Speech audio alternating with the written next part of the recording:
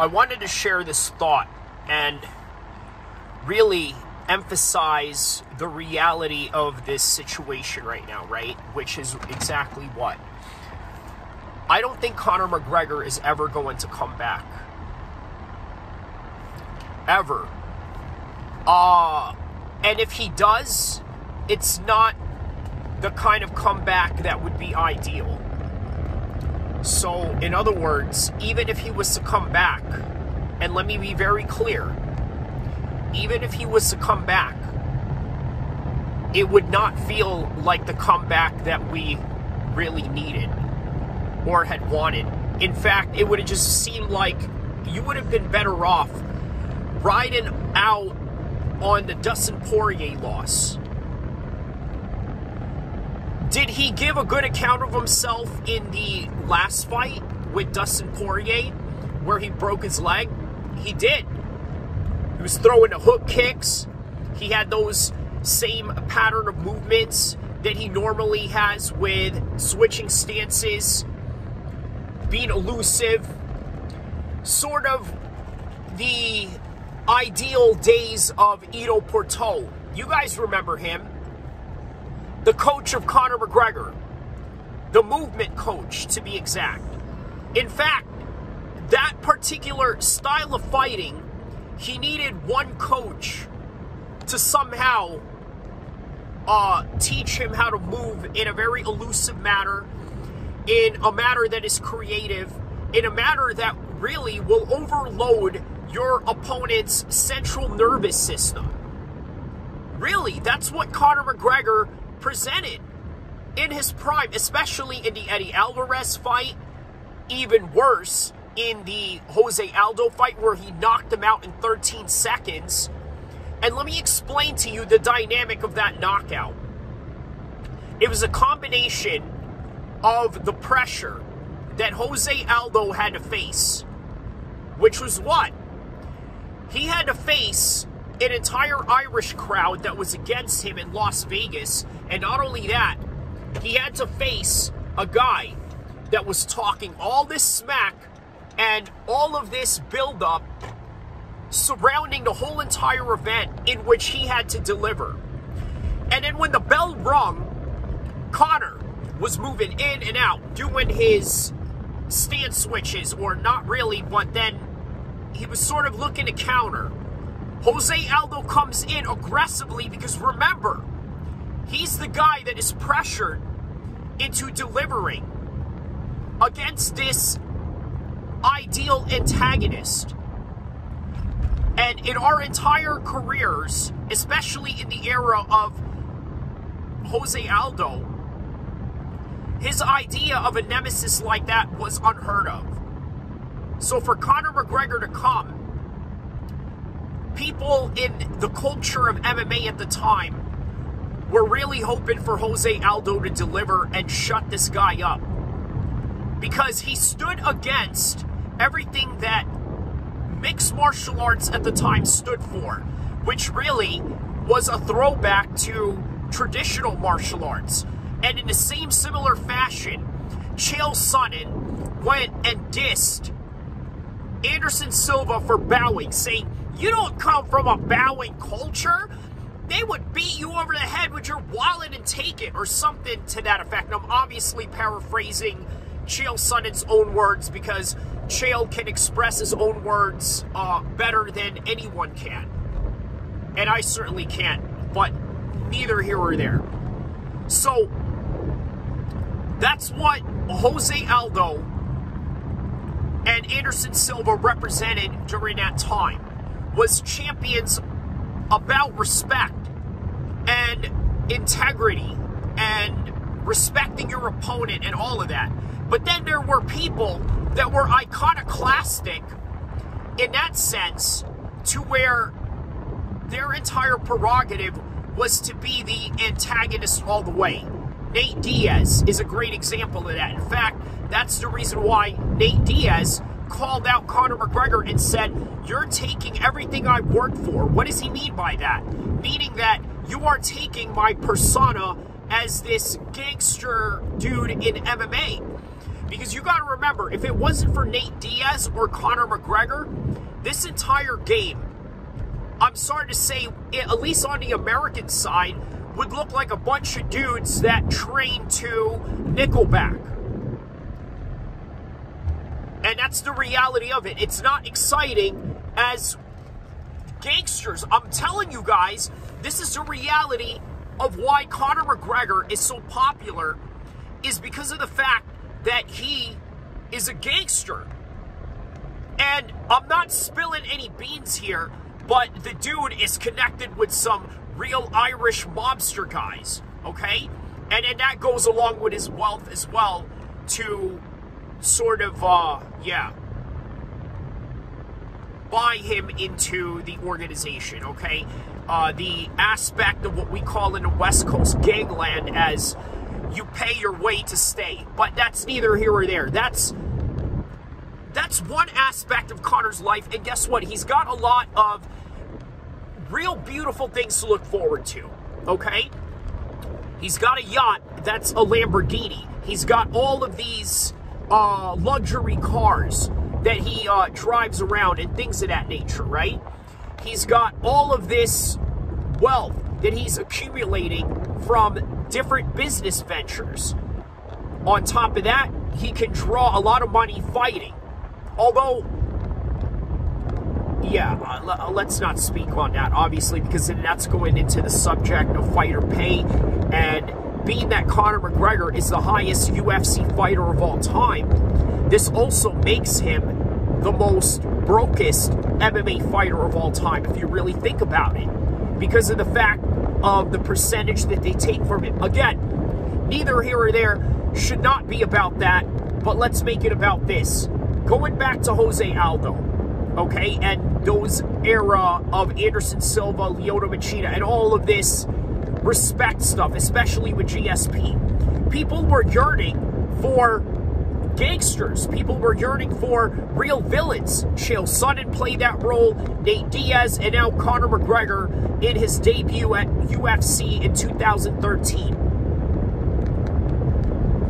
So, this makes him a very exciting type of fighter. But not only that, he came and delivered because people did not like all of this extra confidence or all of this cockiness and what have you. People were not feeling that whatsoever.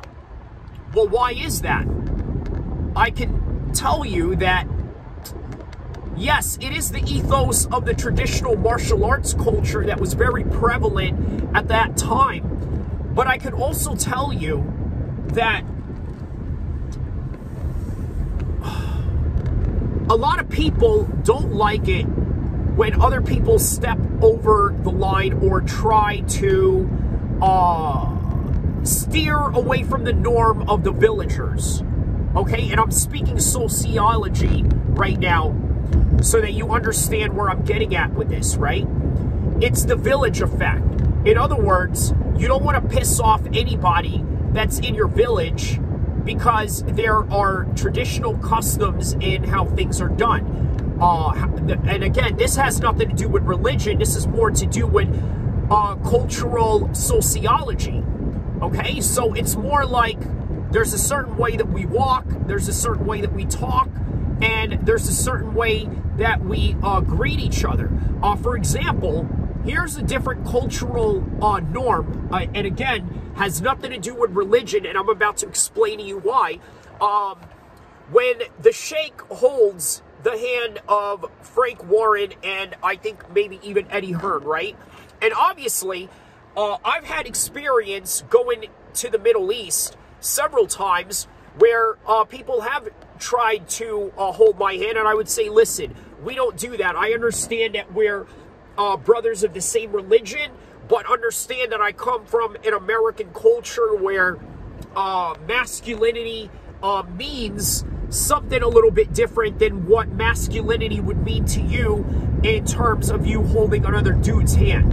Okay? But uh, you notice Canelo even mocked uh, the hand holding thing with Oscar De La Hoya because of their current disagreements with some negotiations of certain fights that they're trying to make, especially with Terrence Crawford and the uh, money they're trying to offer Canelo. But that's, uh, yeah, neither here or there for another video. But understand this Conor McGregor has a lot going on, right?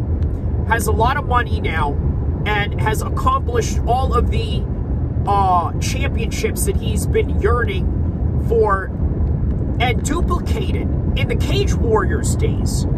He was a Cage Warriors champion at 145, 155. He came into the UFC and literally did the same thing. So he's already accomplished a lot. He's made a lot of money. Now he's into movies. It's very difficult for Conor McGregor to come back. All right? Very difficult. Uh, but will he come back? In his mind, he's thinking to himself he will.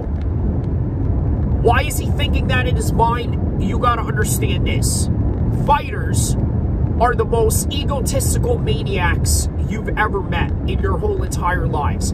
And sometimes not for a bad thing, and sometimes not for a personality disorder, but just for the simple fact that they have a certain drive that will sometimes lead them to delusionality. Sometimes that delusionality is helpful, getting you through, let's say, doing 20 rounds a session or something like that, right? I've done training sessions like that, doing 20 rounds, and let me tell you, the repetitions that you get out of that is just amazing and I think very beneficial, especially for a lot of uh, up and coming fighters, right? It's very beneficial. But that same drive and delusionality will also have you thinking in the way that Conor McGregor is thinking right now hey, you know what? I'm still the baddest guy in the world. Okay, well, show me. How do you do that when you are drinking every day, uh, not training every day, not being in the gym. Maybe he is, but the extracurricular activities outside of that really is not helpful and really more detrimental to his own health, even outside of the ring. And again, here's another thing.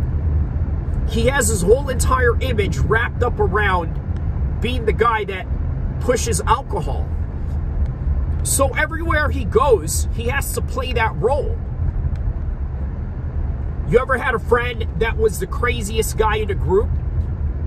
Oh, Mike's crazy. He's going to do it. He's going to go jump that uh, pool because everybody else is scared to do so. He's going to go ring that doorbell when you guys were kids playing Ding Dong Ditch, and he's the one that's willing to do that and nobody else will. That's his identity. He's going to do it. Conor McGregor. What is he?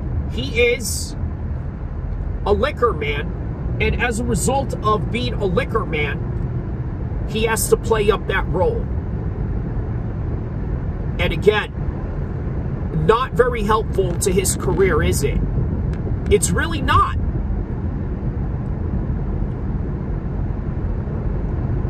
So what's going to happen now? Is he going to come back? Sure. I'm not making this whole entire video out of this whole entire uh, just about under 14 minutes to tell you that he's never coming back. He is coming back at some point because again, what I just mentioned to you, the delusionality of this whole entire fiasco with Conor McGregor's uh, big fuss uh, of a comeback, I think I think that's going to drive him to do things that he uh, sort of overestimates himself to being able to do.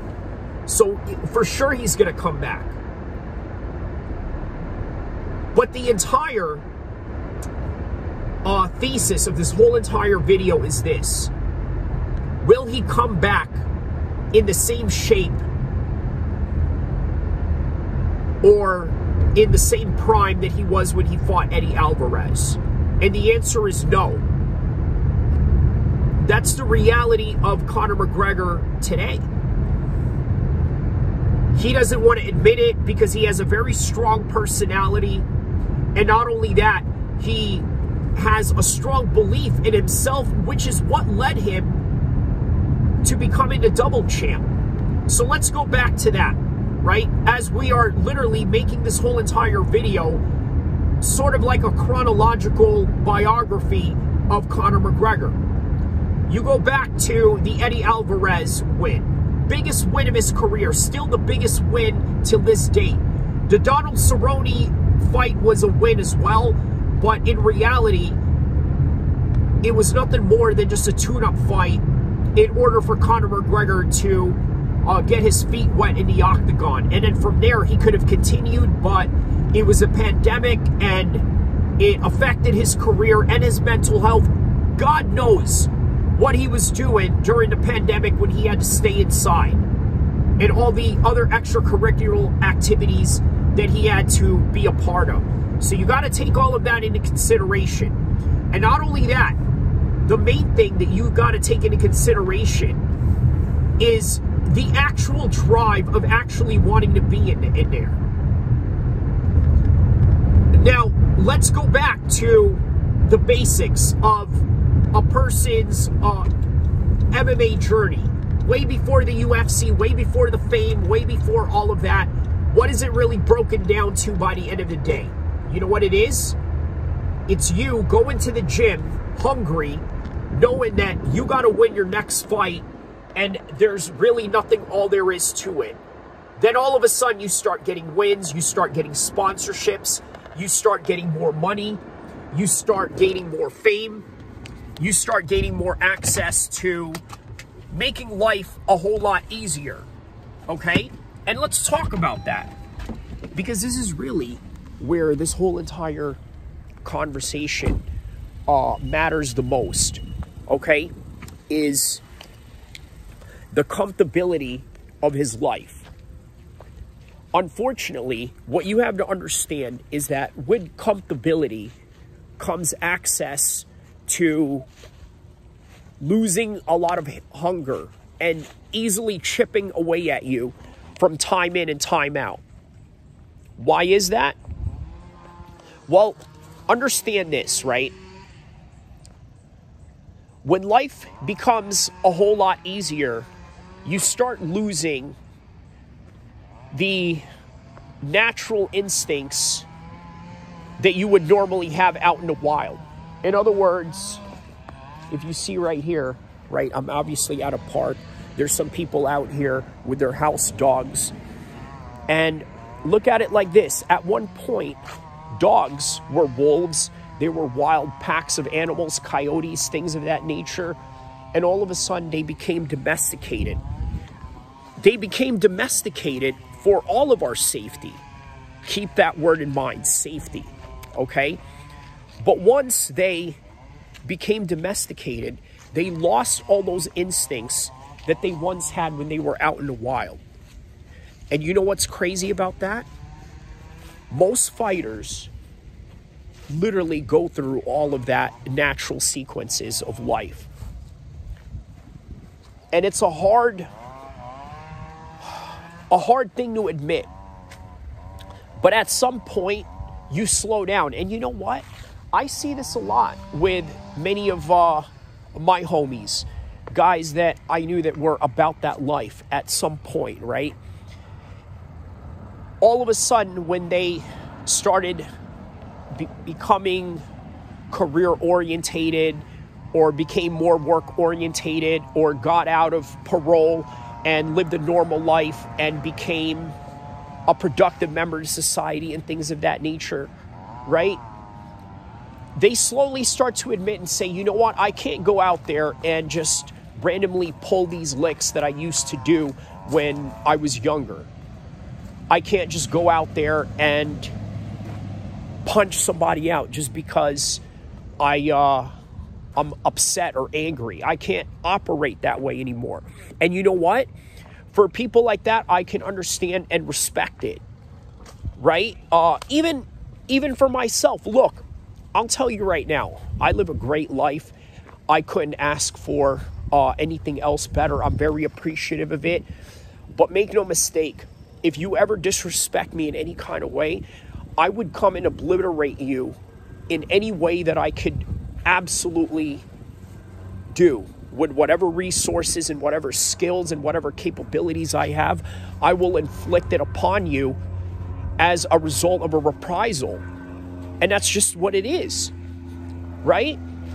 But still, there are some things that I'm not willing to do. Okay, there's that that let's say that I would be willing to do when I was younger. Uh, for example, I used to dive cliffs uh, right up in Auburn. If you're out here in Northern California, in the Sacramento side, and you go way up north, there's a mountainous uh, waterfall area in Auburn, a big cliff that you could jump.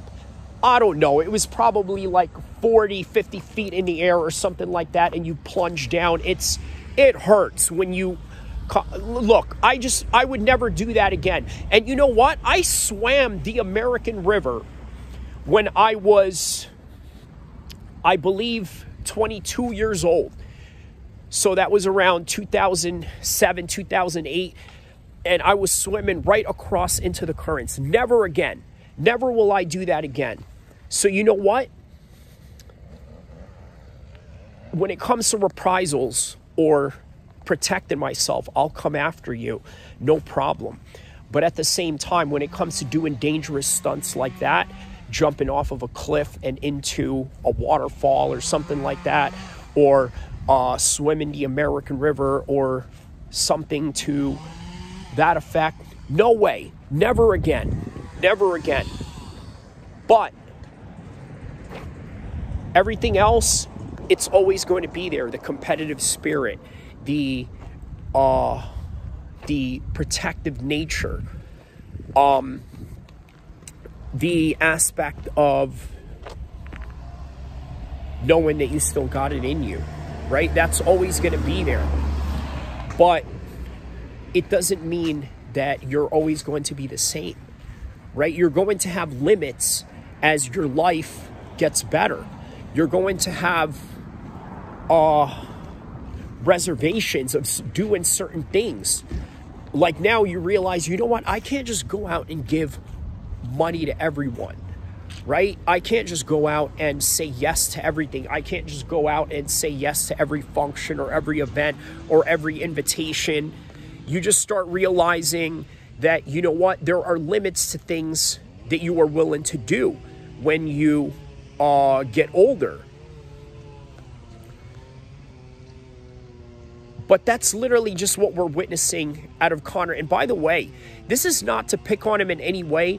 This is just really to talk about real life scenarios outside of the octagon and outside of the ring and outside of the circumference of a competitive uh, architecture, right? That's really what all this is, is to use the world of combat sports in order to convey the message of life.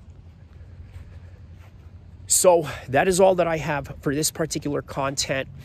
Inshallah like and subscribe. I will see you in the next one.